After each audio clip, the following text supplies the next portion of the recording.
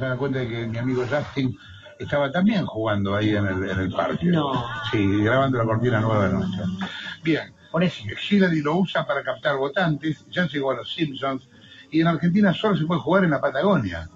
Es un Pokémon Con Cup. la aplicación no Ah, podés. No te puedo bajar la aplicación. Acá. Están en- lo que pasa es que están todos escondidos los de la Patagonia. Están todos enterrados. Esto es de Nintendo, que apenas dos días después del lanzamiento pegó un salto bursátil de 7.500 millones de dólares. Nosotros acá. Y nosotros acá. Joan Zweig es eh, responsable del Centro de Divulgación Tecnológica de la Facultad de Ingeniería de la UADE y a la vez columnista de tecnología en La Nación.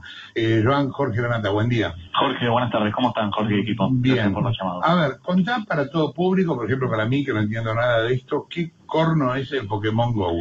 Pokémon es una franquicia de Nintendo de la década del 90 que empezó como un videojuego, después salieron las cartas, después salieron eh, la serie de televisión, después salió merchandising y en septiembre del año pasado anunciaron la aplicación Pokémon GO, que como bien mencionaron es una aplicación de realidad aumentada, que eh, consiste en salir a la calle, quebrando el paradigma de los videojuegos actual, en búsqueda de estos monstruos, en búsqueda de estos, de estos bichos, eh, gracias a la cámara del teléfono, mediante GPS y realidad aumentada, eh, y que están escondidos en la ciudad, en las diferentes ciudades del mundo, para, y el, el juego consiste en atrapar a la mayor cantidad de Pokémones posibles.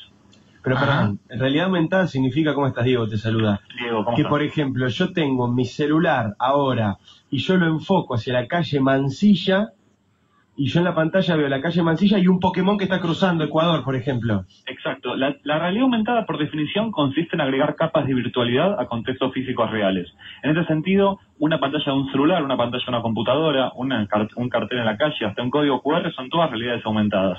Ahora, si vos apuntas a la calle Mansilla, vas a seguir viendo que estás en la calle, pero quizás sale, sale de la vereda un- uno de estos monstruos en, en la pantalla de tu celular. Ahora bien, en el mundo, desde su lanzamiento, como bien mencionaron, Nintendo al viernes pasado ya su acción bursátil creció, la- el valor de la acción creció más de un 100%, y hay muchos indicadores muy fuertes y muchos validadores que en los próximos días, entre hoy y este domingo, se va a lanzar en la Argentina. Joan, te hago una pregunta. Vamos todavía. Eh, vos, vos contabas recién que yo con mi celular puedo ver el Pokémon. ¿Cómo se juega, digamos? ¿Cómo Una lo vez que vos lo estás viendo. Porque, digamos, queremos entender Sí. por qué la gente se pone a correr como loca por la calle. digo. Ver. Vos ves el Pokémon, pero ¿qué tenés que hacer después? ¿Por Primero qué de todo vamos a comprender que el target, el público de este juego es gente de entre 25 a 35 años que consumía Pokémon en la década del 90 en otro de sus soportes. Ahora bien, este, el, el poder adquisitivo de esas personas también suele ser medianamente, medio alto. Entonces, ¿cómo consiste el juego? Eh, uno va caminando por las calles, en las zonas geográficas mediante datos de Google Maps y realidad aumentada, se le indica a los jugadores por la zona cuáles Pokémones hay, y entonces a partir de, eso, de esos datos uno tiene que hacer una acción con una Pokébola como si fuera un, un instrumento para poder captar ese Pokémon mediante el videojuego y después hay intercambios y después hay bienes virtuales. Entonces hay un montón de, de impactos sociales y de impactos económicos a partir de este tipo de Claro, videojuegos. pero digo, el bichito no se deja atrapar, vos lo tenés que correr. Claro, el bicho eh, se puede, O sea, puede saltar, se te puede escapar. Vas corriendo por la calle persiguiendo a algo que solo ves vos en la pantalla de tu celular. todo. Claro, No, exacto. no solamente vos, perdón. Si yo estoy con mi celular mirando Poké- a, a Pikachu en la calle Mansilla y viene Barbaro con su celular, ¿también ve a Pikachu en la calle Mansilla? Claro, claro. La, Vemos el mismo. Todos vemos el mismo, porque el Pokémon es uno. Claro, hay Pokémon uno y también son limitados. Ver, Claro, lo, que papá, claro. Park, lo que pasaba en Central Park es que anunciaban, por ejemplo, que había un Pokémon eh, más raro de poder conseguir, entonces todas las personas que estaban jugando a esto iban a zona. ahí. Claro, que... Eso es lo que genera esa, esa, esa suerte de adicción, digamos, de que todos vayamos al parque a buscar a Pikachu. Claro, a ver, en esta semana puntualmente Yo el uso de Pokémon Go en Estados. Unidos superó el uso de Twitter y el uso de Tinder en cantidad de horas de uso eh, en- a nivel de promedios de eh, usuarios de telefonía móvil. Tenés que tener tiempo libre también, ¿no? Porque Sí. Hay casos, hay casos muy cómicos. Ya hay una persona que renunció a su, a su trabajo en forma completa para poder jugar Pokémon No. todo el día. Para, ¿y es verdad que hubo un, un hombre que lo asesinaron por eso? A ver, eh, lo, lo- lo que, lo- las, las repercusiones sociales que pasan a partir de este videojuego son muy grandes. Ya encontraron cadáveres muertos, están resolviendo crímenes a partir de uso de Pokémon. Lo que hace es fomentar al usuario a salir a la calle para, para poder jugar, que eso es está quebrando lo que se conoce hoy en día con los videojuegos. que- Es una manera tonta de morir perseguir un Pokémon y te lleva puesto un camión, ¿no? Por ejemplo. bueno, pero estás mirando el teléfono. Ya hubo casos de, de ya avisos públicos en, la- en las, en las autopistas de Estados Unidos que, que advertían que por favor no jueguen más al Pokémon Go. Hasta los mismos policías están también jugando, estaban jugando, agarraron a muchos jugando. Así que la realidad que El tenemos- policía en lugar de perseguir al chorro estaba persiguiendo a, a un Digimon por la, 50, la ruta 66 y estaba persiguiendo un Pokémon. Ahora llegan a 30 y ya atrapé dos Pokémon, fichalos. La realidad es que estos días, entre, entre, ayer, entre ayer a la noche y a la mañana, eh, los validadores fueron que eh, después de su lanzamiento en Japón, que fue sumamente exitoso, se estipula que Chile, Brasil y Argentina van a ser los primeros en Argentina, en Latinoamérica, en, en lanzar el, el- el videojuego. En la Patagonia hubo teóricamente pruebas beta para un grupo, para un grupo privado de usuarios. Y eh, hay, hay, hay eventos en Facebook que ya convocan para este sábado en el planetario para, para poder juntarse, así que veremos lo que, lo que pasará. No. O sea que, que el lanzamiento, digamos, oficial del tema ser el sábado del planetario. Todavía no, todavía no hay una fecha de lanzamiento oficial, todo esto son rumores muy fuertes a partir de datos de, de Nintendo y a partir de datos de- de- del estado de los servidores actuales de Pokémon GO a nivel mundial.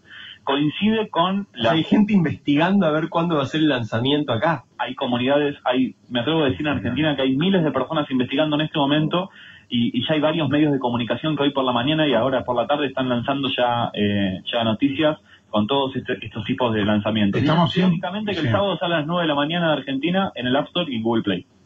Eh, o sea, vos tenés que comprar una aplicación que es la que te permite participar de esto. La aplicación es gratuita. Lo ¿Y que cómo el ganan modelo, plata el modelo de la aplicación es, es un modelo freemium por bienes virtuales. Es decir, dentro de la aplicación uno tiene que comprar, por ejemplo, más pokebolas, más de estos instrumentos para poder captar más Pokémones, porque son limitadas. Eh, ya en eBay, por ejemplo, ya se están comercializando por, mi- por miles de dólares. Ya hay cuentas que salen 10 mil, 15 mil dólares, que son cuentas virtuales, con, con Pokémones ya muy avanzados, ya muy entrenados. Eh, ya hay, hay un montón de fenómenos sociales que están A pasando. ver, para entenderlo, es como el que jugaba al Candy Crush que compraba vidas, digamos. Claro. Los juegos hoy, el, el negocio grande es comprar cositas adentro del juego. Un auto mejor si es un juego de carreras, eh, vidas si, te, si te- estás en el Candy Crush y querés seguir jugando. Ahí es donde está el negocio. ¿no? Claro, es el negocio principal es eso, bienes virtuales que son intangibles y que, y que otra vez van apuntados a un público aún mayor, porque este, recordemos que el target apu- que apunta a Pokémon GO es de 25 a 35 años, y hay gente con un poder adquisitivo, que, que existe un poder, que tiene un poder adquisitivo. Entonces, veremos Bueno, que- perdóname, y estás hablando siempre de teléfonos inteligentes. teléfonos inteligentes, sí. Claro, lo cual ya de por sí targetiza. Claro, ya targetiza y un tema después rango etario y después a nivel social y a nivel económico, que no, no podemos dejar de lado que Nintendo, las acciones de Nintendo en los últimos dos años venían muy planchadas y ahora tienen un crecimiento súper exponencial. En los últimos días bajaron, en los últimos, las últimas 48 horas bajaron un 8%, y esto también porque la, la expectativa en los diferentes en los diferentes territorios, este juego nada más está disponible por ahora en unos 30 países. Entonces, la expectativa está creciendo en los demás, los demás territorios y Nintendo se está apurando también para poder conservar esta acción bursátil. O sea, bueno, en decís, en lugar de comprar Pokébolas, compremos acciones de Nintendo. Una Ya consulta, vos te lo descargas al teléfono, ¿no? Al, al juego este. ¿Y te olvidás? O, por ejemplo, tenés que darle de alimentarle a- al Pokémon. ¿Cómo es? No, No, hay el un montón Pokémon de no lo acciones- tenés, lo tenés que cazar. Hay un montón de acciones sociales, como teníamos el Tamagotchi, ¿no? En un Sí. momento uno tiene que entrenar a los Pokémones, Ah, uno ¿sí? puede intercambiar Pokémones, uno puede comprarle... Perdóname, y cuando vos lo al pibe, ¿qué pasa? Cuando vos lo cazaste, eh, eh, eh, el entrena uno se convierte en como si fuera un entrenador virtual. Entonces uno lo caza y uno puede hacer bien. Peleas. No, quiero más hacer- ¿El responsabilidades. tipo, el tipo vive en tu teléfono luego? El tipo, claro, vive después en su teléfono.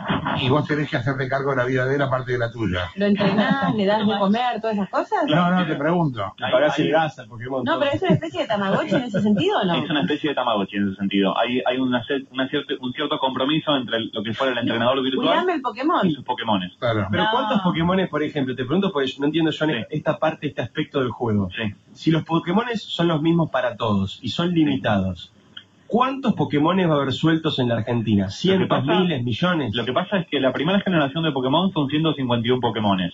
Ahora bien, si por ejemplo nosotros vamos a la calle, a la calle Mansilla y aparece un Pikachu, que es el Pokémon más popular, Claro. aparece una cantidad limitada de Pikachus. Entonces las primeras, por ejemplo, 200 personas que vayan a esa zona lo van a poder atrapar. ¿Y por qué quieren el Pikachu? ¿Qué te da? Sí, porque es el famoso. Ah, ¿Qué hay, beneficio hay No, chicos. de. De verdad son tres equipos en el videojuego. Está el equipo rojo, el equipo eh, verde y el equipo azul. Acá nos pusieron Acá en la pantalla del HD un Pokémon. Ay, atrapalo vos. Para que tenga, para que tenga referencia. Sácamelo, sácamelo, sácamelo que muerde. Perdón, ¿cómo es lo de los equipos? Hubo casos muy graciosos de lugares donde atraparon Pokémones. Por ejemplo, en cuerpos desnudos aparecían Pokémones en, en, en, en la- en zonas medio íntimas. No. Eh, ya son hubo pícaros, casos- los Pokémon son pícaros. Esto es con Tinder, el arreglo que tienen que Pero bueno. Nintendo ahí va, va colocando ahí pro- ¿Cómo de los equipos, Joan? Que decías que hay equipo rojo, equipo azul. son son tres equipos en el son tres equipos en el videojuego entonces uno se tiene que se tiene que añadir a uno de estos de estos equipos eh, y entonces después hay reglas internas por ejemplo.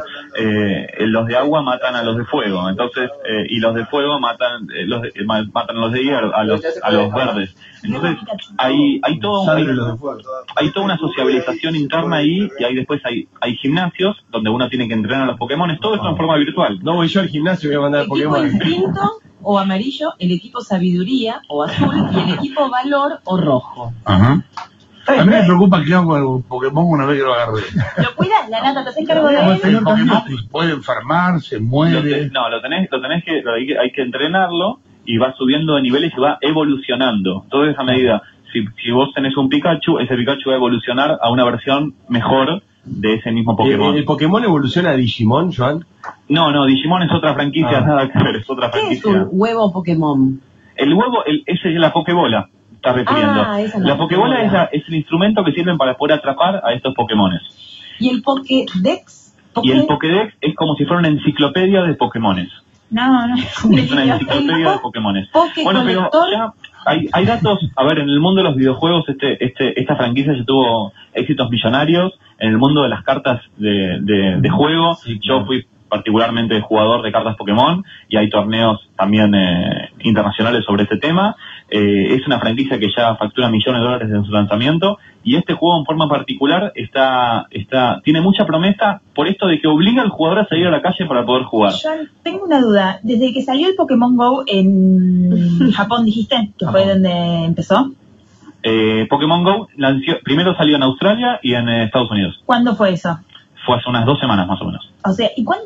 Porque digo, hace dos semanas, entonces el fenómeno de la novedad, de repente capaz que estamos viviendo eso, o vos crees algo que, que es algo como que llegó y que vamos a estar, no sé, un año jugando al Pokémon Go como locos. No, lo que pasa es que en- estamos en un momento donde las tecnologías emergentes, las tecnologías disruptivas como la realidad aumentada se están cada vez instaurando más en los teléfonos móviles. Entonces yo creo que es una tendencia que es, que es natural. Eh, y, y- y es una tendencia, me parece que también a nivel social es muy sana porque nos, nos obliga a salir a la calle para poder jugar. Vos sabés que acá los oyentes, eh, perdona que te interrumpa, Sí, sí, no están diciendo acerca de la peligrosidad que significaría, ¿no? Esto de salir con celulares inteligentes todo el tiempo a la calle roban. y mostrarlos, si no se, digo, si no estaría alimentando Que me roben el teléfono para ver Pokémon. la ¿eh? Sí, por supuesto. A ver, eh, esto tiene un montón de consecuencias. eh, sabemos, sabemos los temas de seguridad, sabemos, sabemos los temas de dependencia también a este tipo de aplicaciones, pero bueno, tenemos que difundir de forma crítica y consciente y empezar a, entender que no todo es para todos, ni, ni para todas las edades. Eh, Joan, ¿qué posibilidad hay de que resuciten los Simonkeys? bueno, por eso estoy, un poco lejano para responder eso, pero bueno. Gracias, viejo, por la comunicación. Eh, Joan Schweik, quien hablaba, responsable del Centro de Divulgación Tecnológica de Ingeniería de la UADE y columnista de Tecnología en la Nación, sí. ¿Se acuerdan de la serie? No sé qué hacer con el perro. ¿qué Mirá, Pará, hago? mirá, nota, tenés, tenés cuidado, Pikachu, tenés cuidado que tenés un. Pikachu Dame tu teléfono que yo te lo... ¿Se dame. acuerdan de esa serie Black Mirror? Era la de... Sí. Que hay un capítulo que es un juego bastante más bestial, pero que es un juego que está la gente como con el celular. eh, Sí, claro, filmando a los tipos. Sí, sí. Me hace acordar un poco a eso. Sí. No sé Pero si- esta, esta es toda la gente, esto es toda la gente que ya está jugando videojuegos en sus celulares y que ahora lo que hace se hace visible con esta aplicación. Y después de que sea noticia en todos los canales, en to- después la gente lo va a seguir jugando. Hay juegos que venden millones en todo el mundo y que no son nunca noticia, pero lo está y vos lo nombrás y lo conoce un montón de gente. Ah, pasa que ahora es la noticia porque parece una cosa muy delirante. No, y además la realidad, la realidad aumentada hasta ahora no había llegado ningún juego así tan Claro. masivo. Es Claro. el primer No, juego es un- es un fenómeno, realidad eh, aumentada. El juego van a venir gigantesco. un No, no había, a ver, la novedad acá es la calle. Claro. Por eso el juego pasa de la, claro, el juego pasa de la casa a la casa. En cuanto a los peligros, yo creo que todo es peligroso en la vida. Y si la gente sale a la calle, algunos se va a morir como se mueren haciendo todas las Siempre cosas. de este decimos, señores, las máquinas no tienen moral, moral tienen las personas. O sea, las máquinas se pueden usar para bien, para mal, para estupideces, todo depende de quién las use. Ah, 13 y 51.